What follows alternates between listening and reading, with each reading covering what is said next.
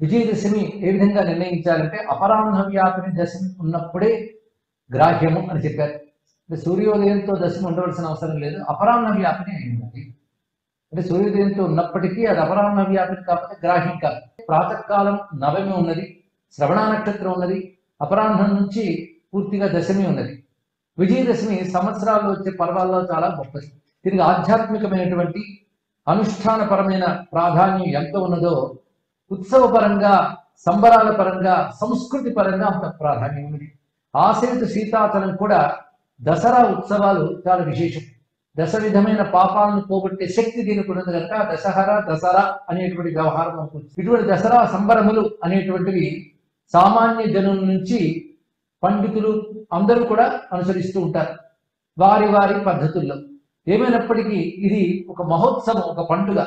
భారతీయ సంస్కృతిలో ఒక భాగం. ఇది గుర్తుపెట్టుకోవాల్సింది. కేవలం పూజలు జపాలు తపాలు ఇవి చేసేవాళ్ళు మాత్రమే కాకుండా దీన్ని ఆధారం తీసుకుని రకరకాల ఉత్సవాలు చేస్తూ ఉంటారు. ఆ ఉత్సవాల్లో వివిధమైనటువంటి వేషములు అలంకారాలు అదేవిధంగా కుటుంబాల్లో బంధుమిత్రులందరూ కలుసుకోవడం ఆత్మీయతలు ఇత్యాదులు కూడా కనబడతాయి. అంటే కుటుంబపరంగా సామాజికంగా కూడా దీనికి ఒక ప్రాధాన్యం ఉంది.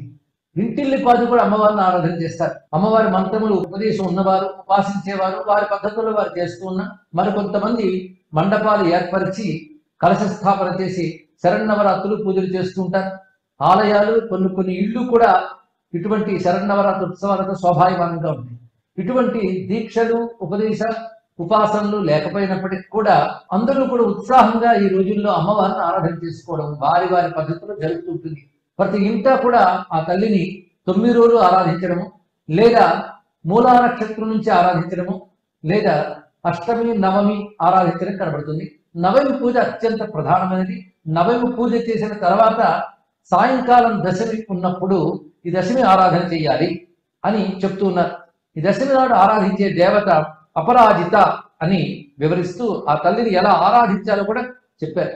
ఈషత్ సంధ్యామతిక్రమ్య కించిదుచ్ఛిన్నతారక విజయో నామ కాలోయం సర్వకామార్థ సాధక అని ధర్మశాస్త్రం చెప్తున్నటువంటి విశేషమైన అంశం. అంటే సంధ్యాకాలమందు కొంచెం నక్షత్రాలు కనబడినప్పుడు అది విజయాముహూర్తము. ఇది సర్వ విధములైనటువంటి ఇష్టార్థాన్ని సిద్ధింపజేస్తున్నది. ఇది విజయదాయకము. ఈ సమయంలో ఏదైనా యాత్రకి వెళ్ళినట్లయితే తారావరం చంద్రబలం ఇత్యాదులు చూడవలసిన అవసరం లేదు. అది విజయవంతం అవుతుంది. సర్వైర్ విధాతవ్యా యాత్ర విజయకాంక్షి అని ఆశ్వయ శుక్ల దశమి విజయాక్ష అఖిలే శుభ ప్రజానేతి విశేషేణ కిం పునఃశ్రవణాన్విత. ఆశ్వీజ శుక్ల దశమికి విజయ అని పేరున్నది.